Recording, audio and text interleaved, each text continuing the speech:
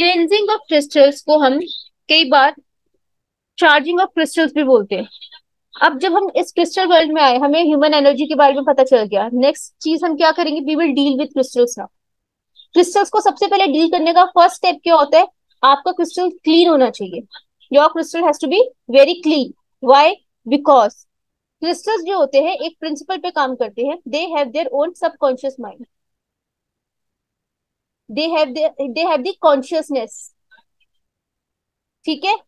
उनके पास सिर्फ़ एक वो जो कॉन्शियसनेस होती है ना, वो है। लेकिन क्रिस्टल अधूरे हैं without human being because crystal is a computer with a consciousness जैसे इलेक्ट्रिसिटी होती है कंप्यूटर के पास, लेकिन without human feeding the information और command inside the computer the computer will not work in a similar manner until and unless human being gives direction to crystal or program the crystal. The crystal is of no use.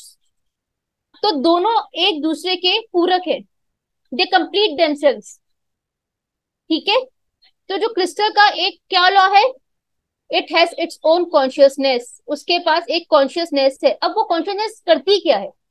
That consciousness can be program we can work with that consciousness अब वो जो consciousness जो है, जो crystal है, अपने एक single piece crystal है suppose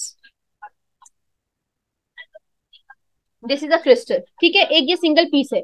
अब मैं इसको अगर तोड़ देती हूँ, ठीक है? अगर मैं इसको दिस इज़ लेब्रोडोराइट अगर मैं इसको तोड़ देती हूँ तो सब, इसके अलग अलग पीसेस ऑफ़ क्रिस्टल्स हो जाएँगे। रॉ क्रिस्टल है अलग अलग पीसेस ऑफ़ क्रिस्टल है। जैसे मिरर काम करते हैं ना कि अगर जब एक सिंगल होता है तो it has it own pole अपना काम कर, पूरे पे एक तस्वीर दिखती है पिक्चर आती है। और जब मिरर टूट जाता है तो every piece is a single mirror her piece में अपनी एक खुद की तस्वीर दिखती है। क्रिस्टल भी उसी बेसिस पे काम करते हैं। जब वो एक सिंगल पीस होते हैं वो पूरे एक एक पीस की तरह काम करते हैं। आप उसके जितने पीस करते रहेंगे ना फिर वो सिंगल अपना एक इंडिविजुअल पीस काम करेगा। उसकी अपनी खुद की इंडिविजुअल कॉन्शियसनेस हो जाएगी। And that consciousness is vibrating on certain level उसकी एक अपनी वाइब्रेशन है। वो कॉन्शियसनेस क्या करती है? जिस एनवायरमेंट में जाती है। एक तो इंफॉर्मेशन देती है अपने प्रेजेंस की, कि मैं यहाँ पर हूँ, ये मेरी वाइब्रेशन है नाउ रिसीव माई वाइब्रेशन ठीक है? जैसे ये क्रिस्टल है, ये क्रिस्टल मेरे एनवायरमेंट में आया, अब ये वाइब्रेशन अपनी फैलाने लगा। See this is me I walk on this level this is labradorite crystal labradorite क्या करता है? बहुत हायर लेवल पे काम करता है। लेब्रोडोराइट आपका एक प्रोटेक्शन क्रिस्टल है labradorite works on your past life also तो ये अपनी इंफॉर्मेशन दे रहा है। ठीक है? अब अगर मैंने इसको प्रोग्राम नहीं कर रखा, ये एक रॉ क्रिस्टल है, मैंने कहीं से लिया, कहीं से ये प्रोसेस होकर आया। Because it has its own consciousness सबसे पहले it will absorb the energy of the person that is handling this crystal जितने जितने लोग इस क्रिस्टल को हैंडल करते रहेंगे, जैसे मैंने अपने हाथ में पकड़ा, मैंने इसको पैक किया, मैंने इसको प्रोसेस किया, इसकी पॉलिशिंग की, इसकी कटिंग की जो जो लेबर करती रहेगी, सबसे पहले उनकी एनर्जी भी इसके अंदर स्टोर होती रहेगी, क्योंकि क्रिस्टल के पास अपनी कॉन्शियसनेस है। ठीक है? तो ना जाने ये कितने हाथों से गुजरा। ना जाने कितने लोगों की इसके अंदर वाइब्रेटरी एनर्जी आ गई। ठीक है? तो हमें क्लेंजिंग की क्यों ज़रूरत होती है? बिकॉज़ हम इसको न्यूट्रलाइज करना चाहते हैं। इसके अंदर, क्योंकि अब इसकी क्या प्रॉपर्टी इसने जो जो एब्जॉर्ब किया, वो ही अपने एनवायरमेंट में वाइब्रेट करेगा। ठीक है? अब हमें इसको इसलिए क्लीन करना है क्योंकि ये पहले कोई प्री प्रोग्राम ना हो। सपोज़ अगर मैं एक I am a worker who manufacturers crystal art pieces I am manufacturing this I am not working it occult wise with crystal तो मैं क्या कर रही हूँ? मैंने अपने हाथ में काम करते हुए अपने हाथ में क्रिस्टल ले रखा है। And I am manifesting certain wish of my own in my own consciousness भगवान आज मेरे लिए ये कर देना और मैं काम करे जा रही हूँ। भाई, आपको मालूम है that crystal is carrying that wish power of that person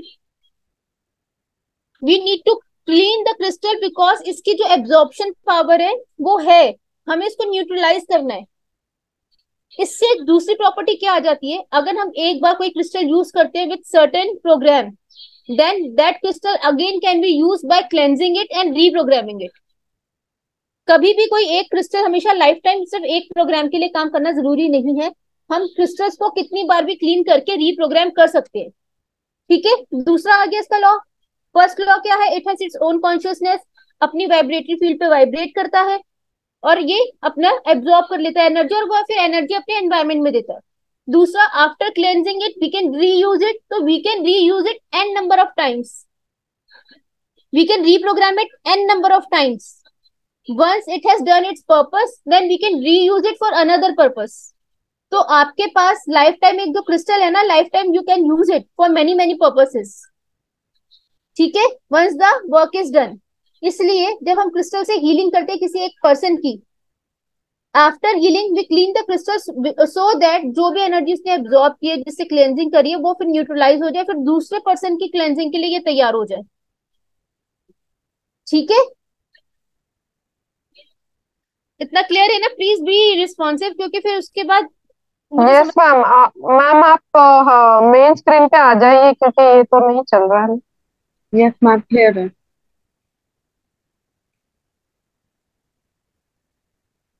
ठीक है? अब सबको नज़र आ रहा है? मेरी बड़ी स्क्रीन आ गई है?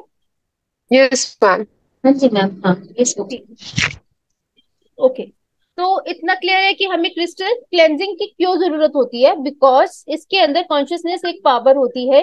That consciousness allows the crystal to absorb things around it ठीक है? अब